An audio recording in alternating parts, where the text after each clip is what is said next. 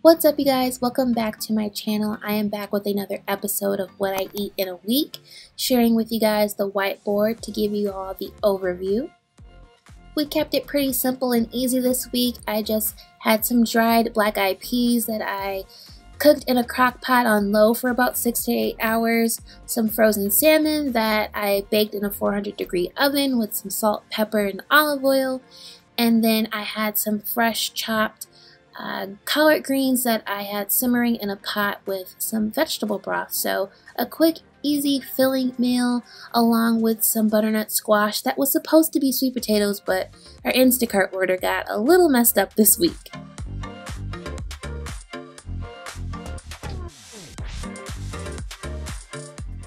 And for breakfast the next day, it wasn't the healthiest, but I still wanted to include it because it is what I eat in a week. And we just had some scrambled eggs, sausage, and toast. It wasn't, again, the bread that I wanted, but our Instacart order gave us that bread. So I just wanted to make sure, you know, nothing went to waste and we used it. So Later that evening, we had the Beyond Beef Burgers. This is one of our go-tos that we just grill in our green pan with some bell peppers and red onion. We've been loving this plant-based cheese by Violife. You should really check it out. It's very similar as far as you know, I've tried as far as dairy-free cheese, very close to the real thing. And then we are obsessed with the Chipotle bitchin sauce. It's so, so good. We put it on like on everything. So as you can see, the Violife cheese melts pretty well as far as vegan cheeses go. And so I just put the sauce on the bread. Uh, you can see my arugula there. And then I'll put the patty on and top it with the grilled onions and bell peppers.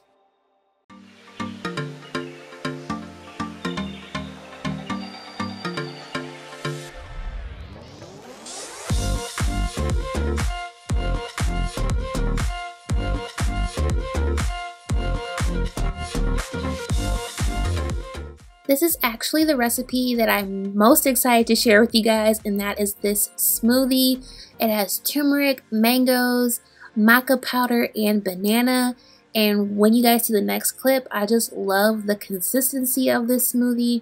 I'm going to leave the complete recipe down below in the description, so be sure to check that out. I really need to get back into making my smoothies because I get to incorporate all these fun superfoods, and when I make one that's really good and delicious, I want to drink it, and of course, I have to share. And now we are going to wrap up today's episode with AJ's birthday dinner. He asked me to cook, and I was happy to do so.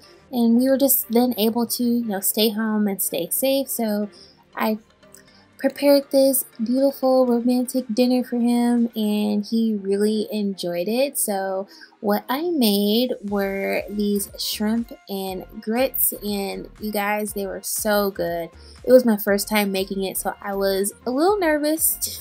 it was also his birthday, so I was hoping that I wouldn't make something not good and it was the total opposite. It was absolutely amazing and has convinced me that I really need to work on my cookbook and get it out to you all this year. You guys, I can't I can't tell you guys enough that hopefully it looks good, but when I when you make this for yourself and taste it, it was so delicious. So I also made another first, which is a German chocolate cake a tradition from my grandmother and also AJ's mom, and he said I did a good job. So that is all I have for you guys today. Thank you guys so much for watching. Please give it a thumbs up if you liked it. Don't forget to subscribe, and I will see you all in the next one. Bye.